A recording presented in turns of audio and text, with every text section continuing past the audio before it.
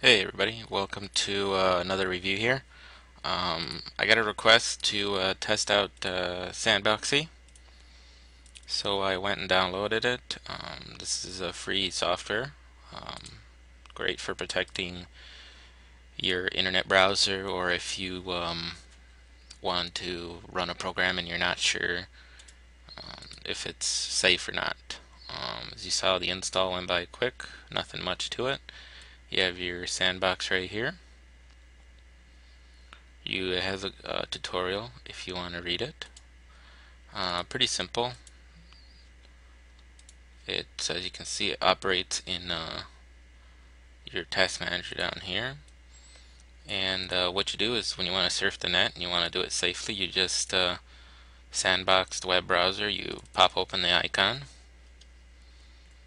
and you'll see that uh, it opens the default browser.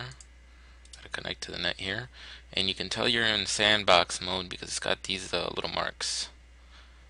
The pound sign here with the um, on the side of the program, the title, and that tells you that you're in, in sandbox mode. So anything that happens in this mode will not permanently affect your computer. So um, just to show you that it does work, I'm going to install some a couple of different pieces of malware here that I know are malware and you can see easily that there's something definitely going on in the computer. As you can see it wants to run the file but again it's sandboxed so we'll run it. All sandboxed. And let me get some other stuff here see if I can get a couple more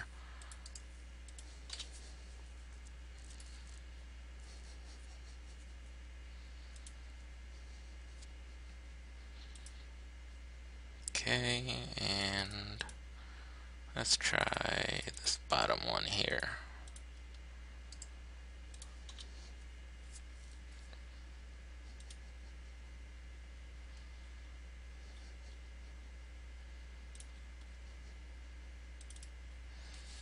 So as you can see, there's definitely stuff running in the back. These are the processes that are sandboxed as of right now. This is a rogue. This one will definitely be easy to see. And, uh, oh, can't run under a virtual machine apparently. Definitely want to get a rogue on here that you guys can see. I think this one might be Antivirus 2010. If it is, that one works in a virtual machine just fine. Yes, it is. Okay, so this is a downloading and installing. And uh, what I'll do, I'll wait here for this to finish and uh, hopefully it'll uh, work and install. Now you have different, while that's doing, well, you got some different uh, buttons here at the top. You can terminate all your programs. You can uh, you can view programs, files, and folders if you want to look at it like a tree. Um, now you got an immediate recovery. If you want to move these files out of the sandbox, um, and I don't want to remove those, so I'm going to close that. I want to keep everything in sandbox here. Now you have your default sandbox. You can run your different programs here uh, in the sandbox mode. You can terminate all your programs like you had under the file. You can do a quick recovery. You can delete all your contents. You can explore the contents you want to see what uh, what stuff you have installed here? So you can see all the stuff. All the little nasties that are installed. You can see that we have uh, Antivirus Pro 2010 definitely running. So uh, we got these here and oh my god something uh, something happened and I don't know what to do. Well it's easy. You hit terminate all programs As you can see, that's gone. And to, to finish cleaning it out, you delete the contents. As you can see, there's 11 megabytes in the sandbox. And you just delete the contents. There you go. Simple as that. Now the sandbox is empty. Your computer is perfectly clean. Nothing ever touched the um, the actual computer. It, it all stayed in your sandbox. So um, let's say you want to install a program and you're in sandbox mode.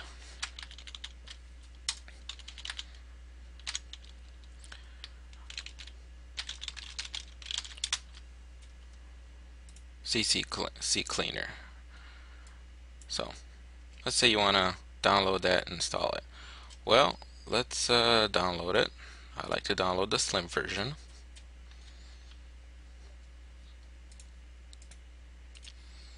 Download the file.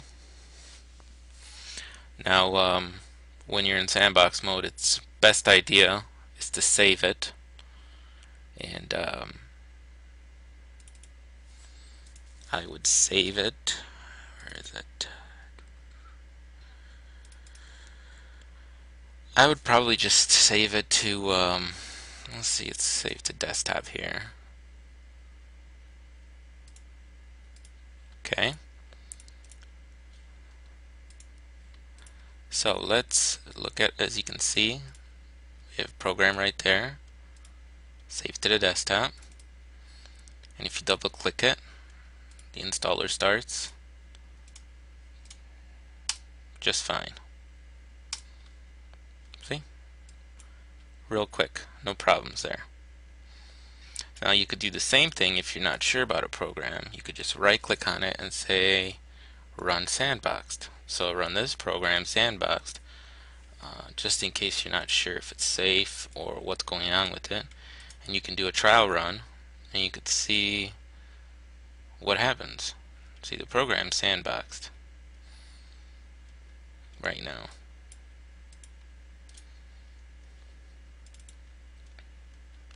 A normal program. And if we go to our Explore Contents, you can see that it installed in the sandbox. See, it's right there.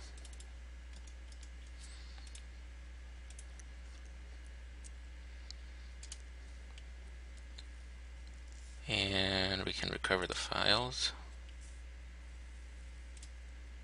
that are in the sandbox quick recovery. And of course there's other different nuances here on um, the sandbox and Sandboxie and all its different little uh, you know different nuances and stuff like that. But basically the best use for this program is to run your browser sandboxed and to test programs out and if you know they're safe you can just rerun the installer again on your system um, without any problems. So uh, that was a quick review of uh, Sandboxie. Uh, definitely works at keeping your system safe. And uh, as you saw, nothing made it past it. Everything got uh, cleaned up. And that's it. I'll uh, let you guys go.